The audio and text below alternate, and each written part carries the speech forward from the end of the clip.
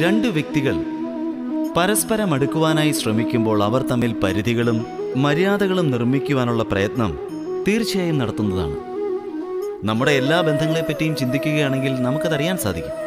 എല്ലാ ബന്ധങ്ങളുടെയും ആധാരം തന്നെ നാം മറ്റുള്ളവർക്കായി അനുവദിച്ചിട്ടുള്ള പരിധികൾ തന്നെയാണ് എന്ന്.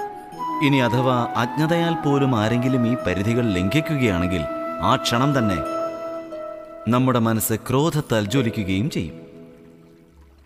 ഈ അതിരുകളുടെ വാസ്തവികമായ രൂപം എന്താണ്? ഇതേപ്പറ്റി എപ്പോഴെങ്കിലും ചിന്തിച്ചിട്ടുണ്ടോ?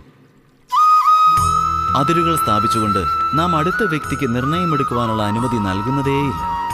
നാം എടുത്ത നിർണയം ആ വ്യക്തിയിൽ അടിച്ചേൽപ്പിക്കുന്നു. അതിനർത്ഥം ആ വ്യക്തിയുടെ സ്വാതന്ത്ര്യത്തെ നാം നിരാകരിക്കുകയാണ് ചെയ്യുന്നത്. അങ്ങനെ സ്വാതന്ത്ര്യം നിരാകരിക്കപ്പെടുമ്പോൾ ആ വ്യക്തിയുടെ ഹൃദയമാണെങ്കിൽ ദുഃഖത്താൽ ആർദ്രമാവുകയും ചെയ്യുന്നു. അപ്പോൾ ആ വ്യക്തി പരിധികൾ ലംഘിക്കുമ്പോൾ നമ്മുടെ മനസ്സ് ക്രോധത്താൽ ജ്വലിക്കുകയും ചെയ്യുന്നു. അങ്ങനെയല്ലേ സംഭവിക്കാറ്?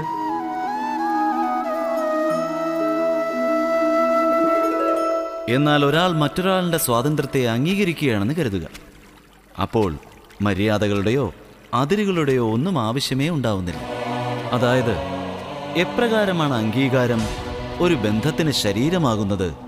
അപ്രകാരം തന്നെയാണ് സ്വാതന്ത്ര്യം ബന്ധങ്ങളുടെ ആത്മാവുമാകുന്നത്. സ്വയം ഒന്ന് ആലോചിച്ച് നോക്കൂ.